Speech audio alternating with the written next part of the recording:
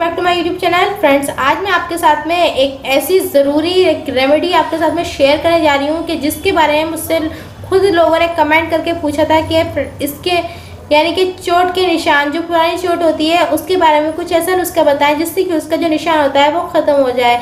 तो फ्रेंड्स, मैं आज इसी बारे में एक अपनी वीडियो लेकर आई हूँ, लेकिन अभी तक आपने हमारे चैनल को सब्सक्राइब नहीं किया है तो फ्रेंड्स, जल्दी से हमारे चैनल को सब्सक्राइब कर दें। तो चलिए, आज हम इस नुस्खे की ओर चलते हैं।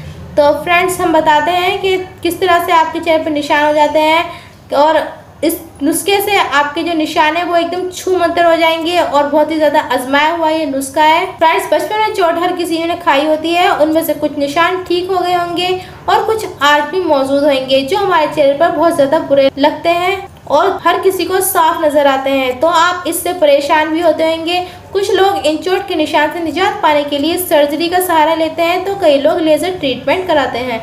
लेकिन अब ये हर कोई तो नहीं करा सकता, क्योंकि वो बहुत ज़्यादा कॉस्टली होते हैं। आज हम आपको बताएँगे कैसे आप इन घरेलू नुस्खों के ज़रिए अपनी पुरानी से पुरानी चोट के निशान को भी आसानी से छुटकारा पा सकते हैं, वो भी बिना किसी ज़्यादा खर्चे के। तो फ्रेंड्स आपको करना क्या है कि आपने लेना है चंदन। अगर आपके फेस पर किसी तरह की चोट का निशान है तो इसके लिए आप चंदन का इस्तेमाल कर सकते हैं।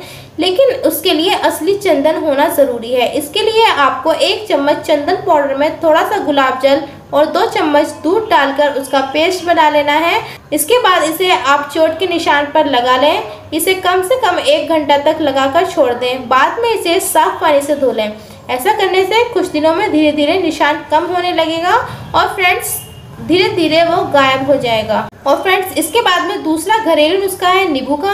तो आपको करना क्या है, चोट के निशान से छुटकारा पाने के लिए नींबू बेस्ट उपचार है। इसमें मौजूद ब्लीचिंग एजेंट निशान को हल्का करने में मदद करता है।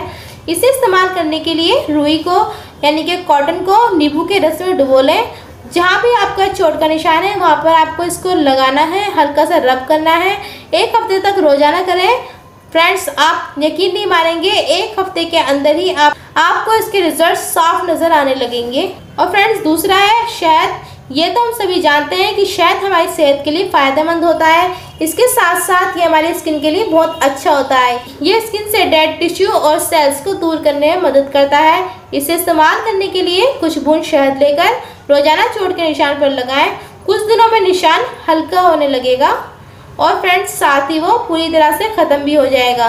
तो फ्रेंड्स ये थी मेरी आज की रेमेडी जो मैंने आपके साथ में शेयर की है, जो चोट के निशान को काफ़ी हद तक हल्का कर देंगी। किसी महँगी क्रीम से जिस तरह से हल्का होता है, इसी तरह से ये रेमेडी जो देसी है, वो बिल्कुल इस तरह से काम करेंगी। तो फ्रेंड्स आप इन नुस्खों को ज़रूर अपनाएँ। और अपनी चोट के निशान को खत्म करें। इसी तरह से फ्रेंड्स जिस तरह हमने आपको इन नुस्खों में बताया है तो अगर फ्रेंड्स आपको हमारी वीडियो पसंद आई हो तो ज़रूर वीडियो को लाइक और शेयर करें और हमें कमेंट बॉक्स में ज़रूर बताएँ कि आपको हमारी वीडियो कैसी लगी। इसी तरह से आपके साथ में और अच्छी अच्छी वीडियो शेयर करते रहेंगे। तब तक के लिए फ्रेंड गुड बाय